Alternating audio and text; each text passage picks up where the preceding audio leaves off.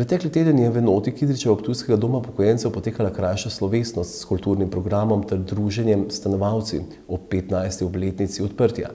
Hkrati so predstavili pridobljen mednarodni certifikat Equalin. Enota v Kidričevem nudi 69 mest v enoposteljnih in dvoposteljnih sobah, deluje pa od leta 2008.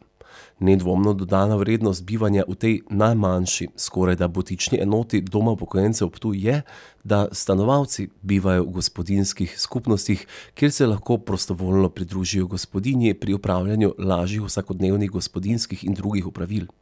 V preteklem obdobju se je tudi v enoti Kidričevo opravilo nekaj investicij, obnovilo se je kuhinjo, stanovalci so dobili nove, svetle in moderne prostore za druženje ter izvajanje drugih aktivnosti v mansardi stavbe. Danes so vse kapacitete enote zapolnjene, za stanovalce pa trenutno skrbi štiriinštirideset sodelavk in sodelavcev.